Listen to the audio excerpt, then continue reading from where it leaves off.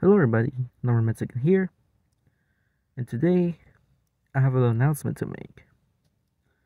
I'll be doing a few changes because I want to make it look a bit more better, you know, a bit more brand new.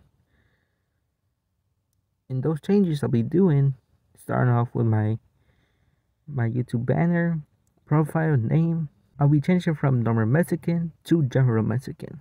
The videos that I usually upload from a week or a day or so, that'll be changing from a month to some weekends. A weekends like two weeks or three so. It's because um usually when I make the animation it's a bit more rush. So I'm taking a bit more time on the animation. And also I'm dealing with summer school now, so that's quite a problem. Another reason why um, the videos might take a month or two weeks, three or so, is because I'm restarting my Army Men collection.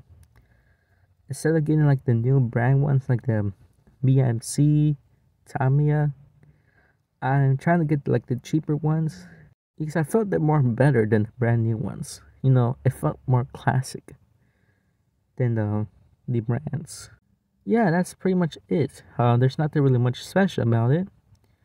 But I will be uploading the other video.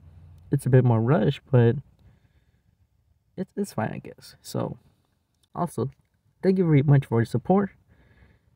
Uh, we got somewhere from 100 to 150. We're, got, we're getting close to 160, so that's a new record for me. thank you very much. Yeah, see you other video. Bye bye.